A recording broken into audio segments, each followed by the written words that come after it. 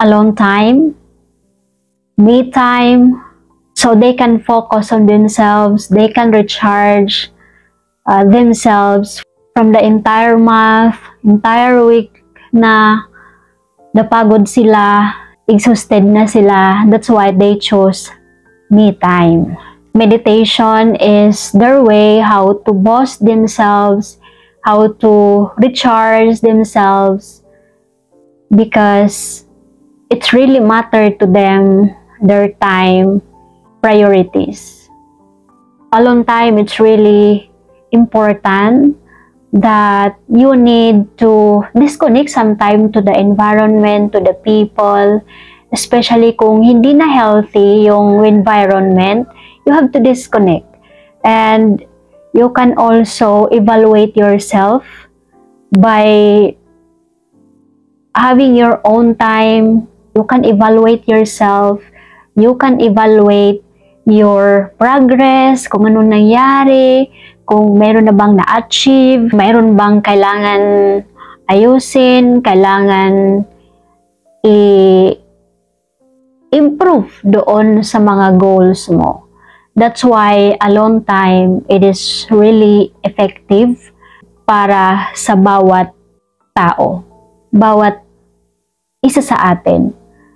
It is about talking to your soul, talking to yourself, and appreciating yourself.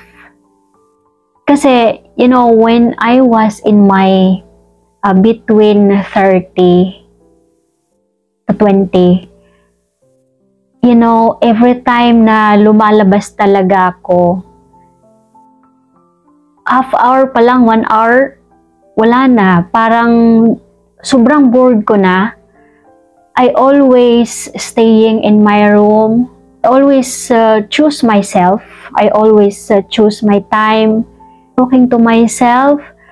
And that time, nare-realize ko na yung mga mga priority ko na dapat ko nang seryosohin to take action na talaga. In our 20s, 30s, dapat meron na talaga tayong na-achieve sa bawat goals natin, sa bawat desire natin.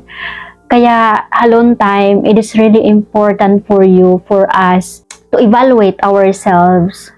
Ano na yung progress natin at kung ano yung kailangan natin i-work out na talaga. So, every single hour, single minute, don't waste the time. You can use it to declutter, to arrange your room, or you can you can play a song, go to park and go to coffee shop. It's depend to you how you meditate, how you recharge yourself and how to forget the toxic environment. And keep keep doing that to maintain your alone time, help yourself to be responsible on your actions and your decisions.